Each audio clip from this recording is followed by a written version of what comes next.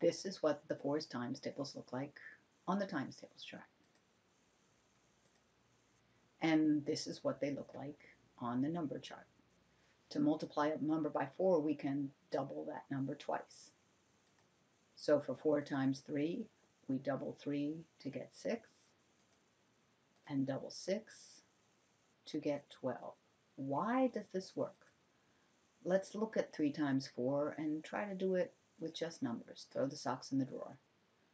We don't have to hold it all in our minds. I can rewrite this with the 4 as 2 times 2. And then I can rewrite this with 6 instead of 3 times 2. And then copy down the rest of it.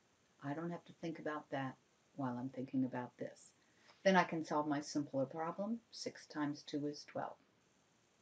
Learning to substitute simpler things in is really powerful. Works with 4.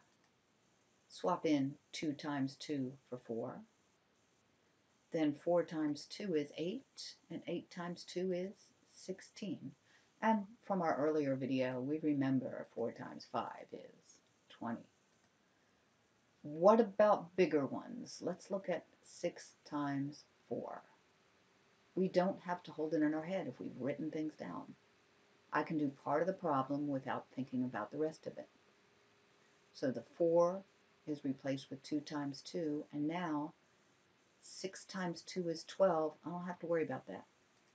Then I'll bring that down, and now 12 times 2, how to double that? It's 24. How to double it in the next video. Here's the legal